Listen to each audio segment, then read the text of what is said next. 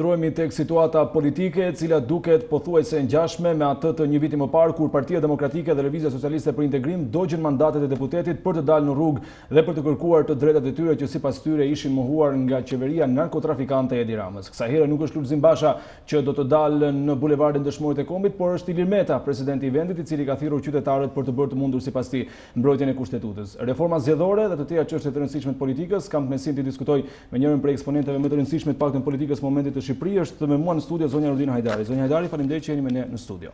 Faleminderit shumë për ftesën. Do doja ta nisja me një pyetje shumë të drejtpërdrejtë. Ju do të merrni pjesë më 2 mars në orën 17 tek protesta e thirrur nga presidenti tek bulevardi Dëshmorët e Kombit? Dakor, atëherë meqë po më pyet kaq drejtpërdrejt edhe unë do të të jap një përgjigje drejtpërdrejt. E para njëherë mendoj se kushtetuta është tepër e shenjtë dhe nuk ka gjë më të shenjtë sesa kushtetuta e një vëndi. Dhe patjetër dhe këtu në vëndin tonë, kushtetuta e Shqipërisë është padyshim gjëja më e shtrenjtë që ne kemi.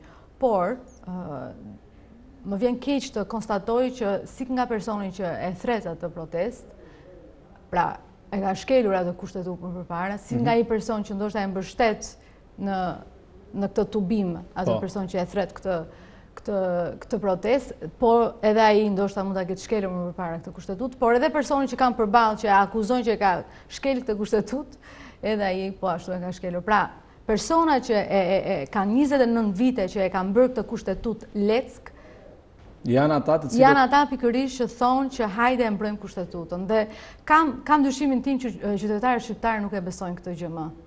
Ka 29 vite që kushtetuta e Shqipërisë apo çdo kauzë tjetër përdoret për të nxjerrë njerëzit jashtë në tubim dhe në fund nuk arrihet asgjë. Pra, personat që thërrasin këtë protestë janë persona që vetë e kanë sjellur vendin në këtë derexhe.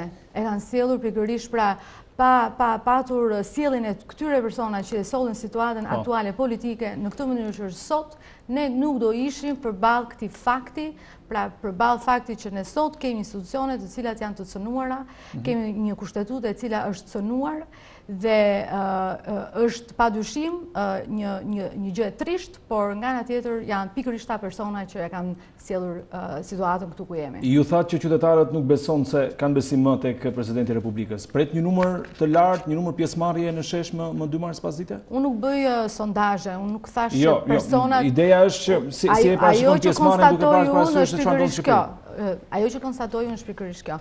Këta janë të njëjtët persona, të cilët pretendojnë që duan të mbrojnë kushtetutën, por janë po ata persona që e kanë shkelur kushtetutën në këto 29 vite. Pra, atë mhm. kushtetutë e kanë bërë leckë. Mhm. Dhe janë këta persona që kur ka ardhur koha për të mbrojtur kushtetutën, kanë thënë që për hir të demokracisë duhet shkelur kushtetuta. Tani është Anasjelltas, po, po. pra. Pra, prandaj po them që është e vështirë të besohet sot që kauzat janë të drejta, sepse janë pikërisht ata persona që si personi që e mbështet, si personi që kanë përballë, që kanë 29 vite që kanë të njëjtën sjellje politike. Dhe person dhe njerëzit me të drejtë kanë humbur besimin. Si personi që e mbështet, e keni fjalën për kryedemokratin Lulzim Basha, pra keni informacionin që edhe Partia Demokratike po organizohet për të qenë pjesë e këtij tubimi? Por besoj se ju i kini parë deklaratat që kanë qenë në mbështetje dhe unë kaq di, nuk po se jam futur të analizoj deklaratat, por unë kam parë që ka patur një mbështetje për këtë si iniciativë. Dhe ky është dyshimi im që mhm. fakti që kushtetuta sot duhet të mbrohet, kjo nuk ka dyshim absolutisht kushtetuta është e shenjtë për një vend. Po. Dhe sidomos për për ligjvënësit, për sidomos për çdo njeri të cilët vërtet duan të mbrojnë ato parime që janë në atë kushtetutë. Por janë pikërisht ata njerëz po. që e para nuk kanë respektuar, e kanë shkelur kushtetutën dhe sovranitetin e popullit që në 2008-ën kur ia kanë hequr të drejtën njerëzve të zgjedhin përfaqësuesit e tyre. Pra, ka shumë gjëra në atë kushtetutë që vetë me dorën e tyre i kanë shkelur brenda natës edhe nuk kanë patur absolutisht asnjë lloj problemi sepse Kanë përdorur ato momente pikërisht për përfitimet e tyre personale politike. Zonja Hajdari, për ju, ka grusht shteti nga ana e mazhorancës siç pretendon Presidenti i Republikës Ilir Meta? nuk futem pra në këto deklarata, unë merrem me jo, pyetët, jo, direkt, për, do merrni pjesë për, për në protestë. Dhe unë ju përgjigja në mënyrë po. të drejtpërdrejtë. Sa i përket tezave të ndryshme, konspiracioneve, unë nuk merrem me këto. Pra, grushti i shtetit për ju është konspiracion? Nuk merrem unë me teori, nuk hyj mhm. fare në këto teza. Unë merrem me faktet.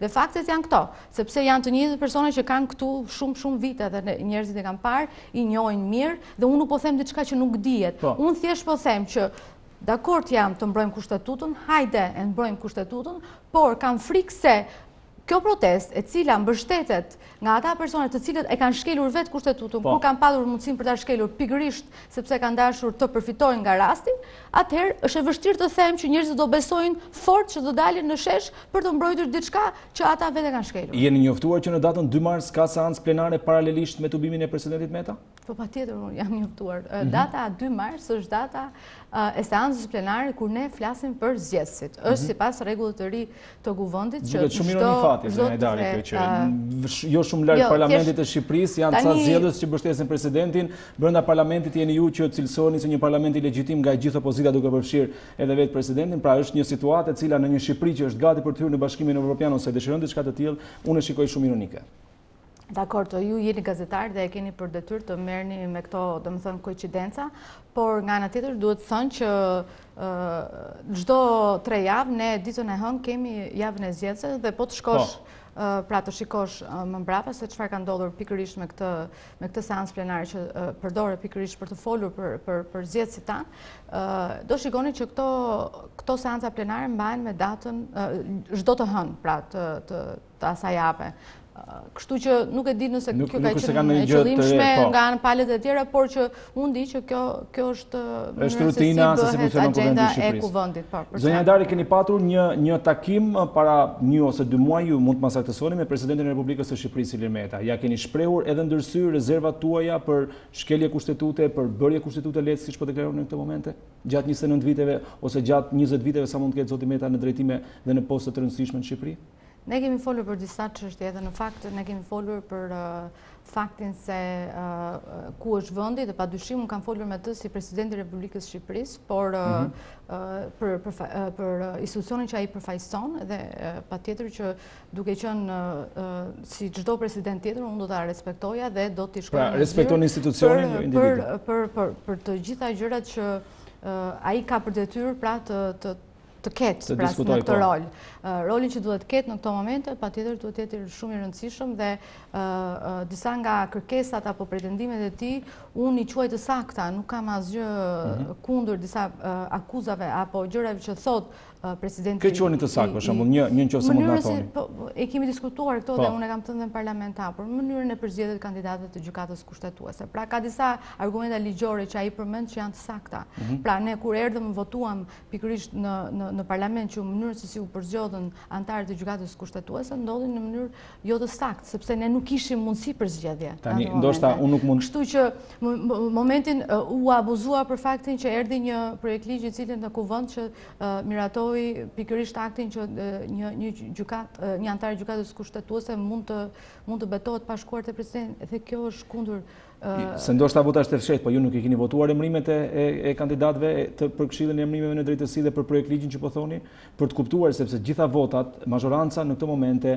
i bën në kuadër të asaj që është duke ndodhur me opozitën e re. Çfarë ndodh në këtë? Pra, jeni ju, po themi një farë mbështetje se shprehni kundër këtu, po ndërkohë kuotat dhe shifrat në kuvend flasin tjetër, aq më tepër që ju jeni një jo, kryetare grupi parlamentar demokrat. Jo, duhet të shikoni shifrat mirë, sepse Ju duhet shikoni shifrat mirë dhe duhet shikoni sjelljen e grupit demokrat. Unë përgjigjem pikërisht për atë grup që unë përfaqësoj, anëtarët e grupit demokrat dhe sjellja e tyre në lidhje me këtë ka qenë unisone dhe ne kemi thënë pikërisht që disa nga këto projektligje kanë ardhur në kundërshtim me kushtetutën dhe patjetër po. që ne nuk i kemi votuar ose kemi refuzuar të marrim pjesë. Dhe kjo është një gjë që ka ndodhur dhe është konstatuar prej nesh dhe kemi folur në mënyrë të hapur qoftë në mënyrën se si kemi votuar, por edhe në parlament në mënyrën se si, domethënë, kur kemi marrë pjesë në, në foltoret për të folur mbi atë çështje, pra kur është diskutuar në rendin e ditës. Po. Kështu që kjo nuk është një gjë për të, për të fshehur dhe, dhe, dhe kjo është diskutuar hapur në... në edhe, edhe një pyetje dhe mbyllim me 2 marsin. Ju ka informuar ose ftuar Zoti Meta në takimin që patët para një muaji për, për 2 marsin ose për një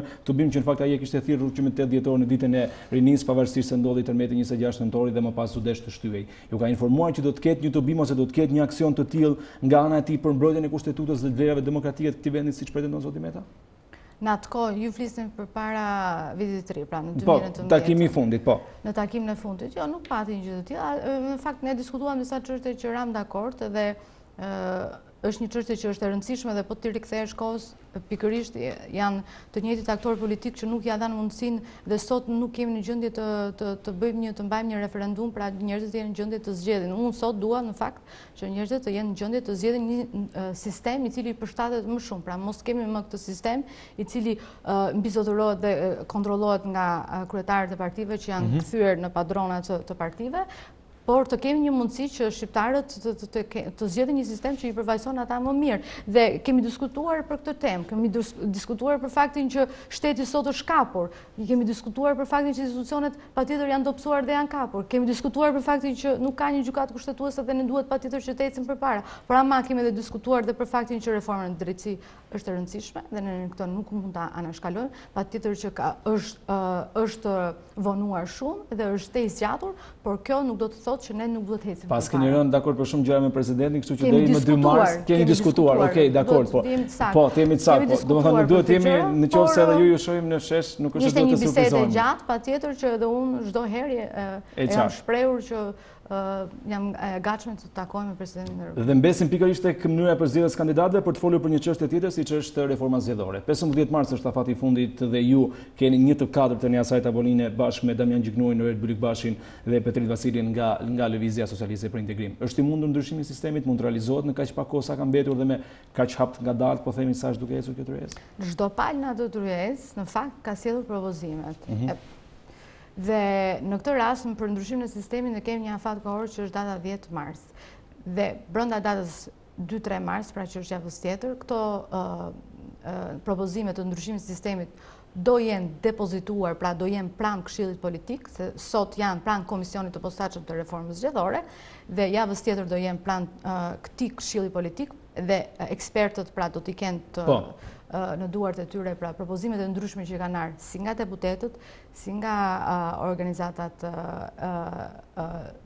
shoqërisë civile apo joqeveritare, po. Dhe si Nisma Thurje për shembull, dhe po ashtu dhe propozime të tjera, kemi patur dhe propozime të tjera që kanë ardhë nga deputetet tanë. Pranohen, mund të realizohet ndryshimi i sistemit, se ky duket sikur është thelbi që u intereson shqiptarëve në këtë pjesë. Pastaj, gjëra të tjera janë teknikalitete për që për shqiptarin dhe qytetarin e thjeshtë mund të quhet thjesht një pazar i radhës. Të rëndësishme janë dy element ose mund të them tre element. Po. E para është gjithëpërfshirja në këtë tryezë. Pra për mhm. mua gjithmonë ka qenë e rëndësishme fakti që ne duhet ulemi në këtë tryezë dhe po. kemi kemi thirrur që fakt ata të jenë pjesëmarrës në këtë tryezë që prej fillimit dhe humbëm kot kohë, një vit kohë, humbëm dhe nuk fituam asgjë me duke mos u dakordësuar që të uleshim. E dyta. Por e dyta është fakti se ne Duhet që patjetër të biem dakord mbi ato gjëra që çdo palë kërkon. Pra, mhm. dhe në momentin... Jo, është e pamundur, praktikisht. Po, të biem dakord për çdo... Për më të mirën është ideja, po dhe njerë. Të gjejmë patjetër që nuk mund të kërkojmë perfeksionin në këto mhm. momente, pra çdo palë ka propozime... Aq më pak në dy muaj kohë kur ju u ulët? të që mund të sjellin në tavolinë, por ne duhet të gjejmë konsensus mbi ato propozime. Por nuk mund të themi që kjo palë nuk mund të bëjë dot propozime dhe nuk do pranojnë asgjë nga kjo palë, sepse çdo person në atë tryezë ka të drejtën e vetos dhe nëse uh, palët e tjera nuk do jenë të uh, të hapur mbi ato gjëra që unë do propozoj, atëherë unë nuk do shikoj një sjellje e cila do jetë e njëanshme, pra do jenë më të prirur të pranojnë propozimet e PD-së ose LSI-së, dhe nuk do jenë të prirur të pranojnë propozimet e mia. Unë nuk po them të pranojnë çdo gjë, dhe madje unë do jem shumë tolerante dhe e hapur, dhe do jap disa propozime të ndryshme, dhe të biem dakord, cili është propozimi më i përshtatshëm për të gjitha palët. Mund të miratohet deri në 15 mars, dhe a i keni votat e mjaftueshme, ajo tryezë që është ulur aty që duhet thënë ka eksponentë që Atë parlamentin që do të miratojë që do të miratojë dokumentin përfundimtar e ka quajtur ilegjitim, të blerë nga Edi Rama, të përdorur nga Edi Rama, kanë fyer nivelin intelektual, por ky është një kjo është një çështje tjetër që s'besoj se kemi kohë ta diskutojmë. I ka votat e mjaftueshme dhe për opozitën e re të parlamentit ku bëni pjesë. Do të ishte pak fyese të pranonin të miratonit një dokument nga ata të bërë nga ata persona që ju kanë fyer vazhdimisht se ju jeni të blerë, jeni të korruptuar dhe jeni fasadë e Edi Ramës? E para njëherë, këto janë dy çështje të ndryshme. E para, miratimi pa dhe 15 mars. Miratimi 15 mars varet komplet nga vullneti që ne do kemi, secila parti për të pranuar pra atë kërkesë që është më e rëndësishme për çdo palë. Pra duhet të pranojnë që nga Rudina që përfaqëson këta deputetë që kanë këtë betejë të madhe që është ndryshimi i sistemit, pra të çfarë është një nga kërkesat e tyre që ne duhet ta pranojmë. Ashtu siç do pranojmë edhe kërkesat e tjera, pra që të jemi sa më gjithëpërfshirës në kërkesat dhe të jemi të, të gjejmë një vijë të mesme në të gjitha këto mhm. bisedime që do kemi. Pra nuk mund të jemi njëanshëm në këtë tryezë, nuk mund të më fyejë absolutisht asnjë inteligjencën që të më thotë që do pranojnë të gjitha propozimet e PD-së, por nuk do pranojnë asgjë nga ato që thotë Rudina në këtë tryezë. Prandaj kështu që është një gjë që të gjithë duhet ta mirëkuptojnë, që unë aty do luaj rolin pikërisht atë rol, që kam, që më kanë mandatuar opozita brenda parlamentit, grupi im parlamentar, që ka të bëjë me ndryshimin e sistemit, ka të bëjë pikërisht me ato propozime që kanë ardhur nga 50.000 firma që duan ndryshimin e sistemit. Dhe unë do vazhdoj të luftoj me ato çfarë kam në dorë deri në fund në lidhje me këtë temë. që nuk mund të arrihet, kam përshtypjen. Kjo është një perceptim dhe paragjykim i juaji, nuk ka lidhje fare, ne do shumë nuk duhet ta... Mirë, pas 15 marsit përmes një lidhje telefonike do ta konfirmojmë këtë gjë. Nuk duhet po. të flasim në këtë mënyrë, sepse mhm. patjetër ti e paragjykon këtë proces, por jo, unë po them këtë, por duke parë, nuk keni, nuk keni faj në fakt, sepse, siç e thashë, duke parë 29 vitet e fundit, këtu nuk arrihet asgjë, dhe ne duhet të bëjmë patjetër që të ecim përpara pikërisht, dhe nuk duhet ta bllokojmë reformën zgjedhore, për të ecur përpara, pikërisht po në integrimin e Shqipërisë në Bashkimin. Do të ishte fyerje për opozitën e re të miratonte, po, po jua përsëris dhe njëherë, miratonte një dokument të dalë dhe të hartuar nga ata që e kanë quajtur të blerë, të korruptuar këtë parlament? Unë nuk do të toleroja kurrë që ta fyeja opozitën në parlament. Pra, po s'do e çoja unë deri atje në parlament jo- për të bërë këtë lloj gjesti pra që ju po thoni. Nuk absolutisht... Po do miratohet, zonja Hajdari, se është duhet se s'bënë dhe me votat e opozitës parlamentare që të miratohet ky dokument, se mazhoranca e vetme nuk i ka aq vota sa duhet për të miratuar reformën zgjedhore. Pikërisht, pra, duke qenë se kjo është tepër është një gjë tepër e rëndësishme atëherë dhe propozimet tona do jenë tepër të rëndësishme në atë tryezë sepse do jenë të përcaktuese në në votat që do jepen në parlament. Prandaj dhe unë besoj fort që palët e tjera do jenë të hapur se e kanë pranuar që ta futin pikërisht në axhendë ndryshimin e sistemit dhe ne do flasim për çështjet pra mbi këtë çështje më datën 10 mars dhe pas asaj dite mund të flasim akoma më tej Kam edhe të paktën pesë pyetje dhe kam shumë pak minuta kohë në dispozicion. E para, Partia Demokratike ka propozuar që ata persona që ose gjyqtarët që merren me hetimin e krimeve zgjedhore për 4 vite të mos kalojnë në procesin e vetingut. Për ju është e drejtë ose shikoni ndonjë makinacion që mund të bëhet pas gjithë kësaj? E pranoni diçka të tillë si pjesë e reformës zgjedhore?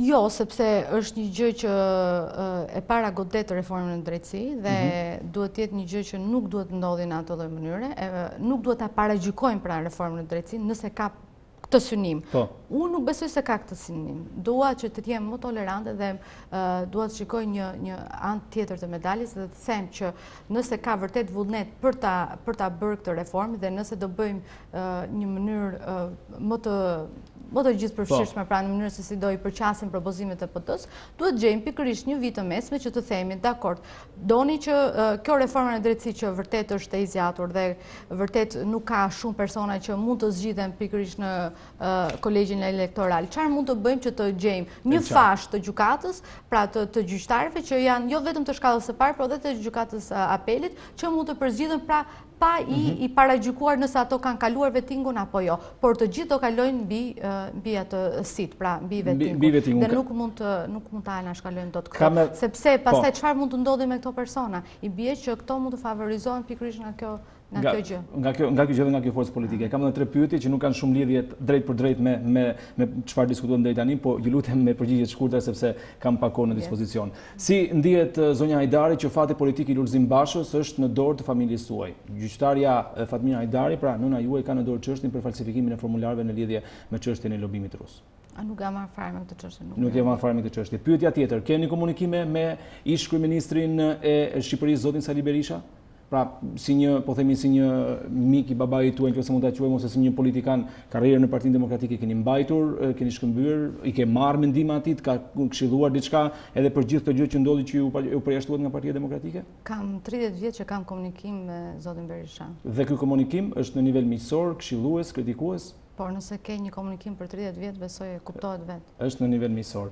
Në rregull. Edhe shkurtimisht është edhe edhe pyetja e fundit, si ndihet ose si e përcolli vajza e liderit të dhjetorit Azem Hajdari vdekjen e, e Nexhmije Hoxhës, gruas së diktatorit Enver Hoxha?